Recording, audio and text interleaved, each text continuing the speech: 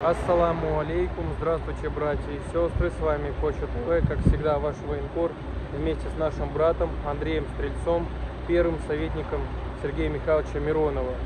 И вот сейчас мы находимся в Тульской области. Как вы знаете, не так давно я прибыл из Курской области, где мы также помогали военным и местным жителям. И сейчас мы везем гуманитарную помощь нашим военным.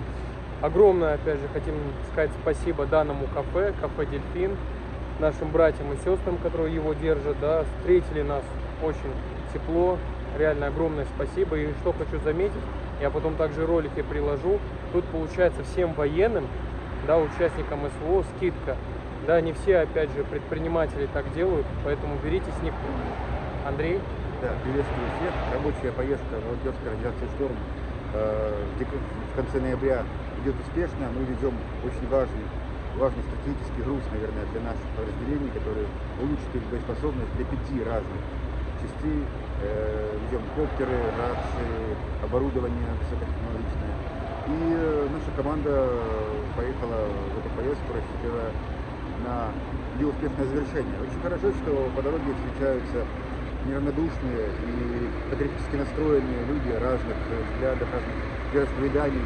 Нас вот прекрасно приняли, э, разместили, и благодаря таким вот маленьким, но очень важным, правильным делам э, мы вместе совершаем большое-большое-большое нужное дело.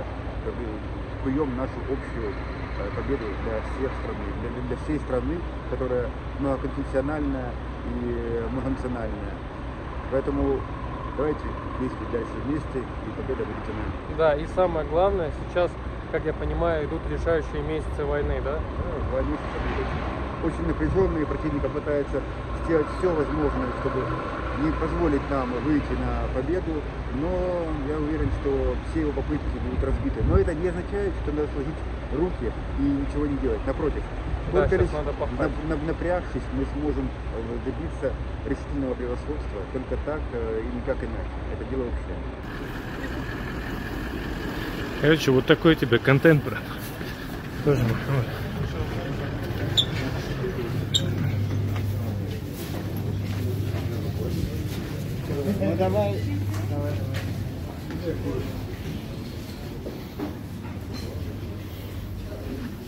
Привезли для жителей Курска и военных вот такую вот гуманитарную помощь. Пошли, да, покажем, как наши волонтеры работают. Тут у нас, получается, мы распределяем, да, всю гуманитарку.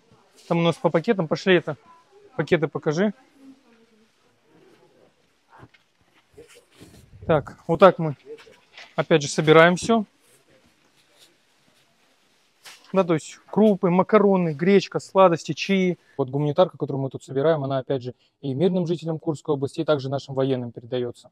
Ну а кто тоже хочет поддержать наших бойцов, то реквизиты будут тут на экране. Сейчас на самом-то деле очень мало кто помогает. Коча, передай привет. Всем привет! У нас там это еще два мотика для штурмовиков. Коче, Михаилу Нигматовичу. Огромное тебе спасибо, брат, за ту поддержку, которую ты оказываешь нам. за предоставленную помощь в специальной военной операции нашим волонтерам. Спасибо большое, брат. Берегите себя. Служу России, как говорится.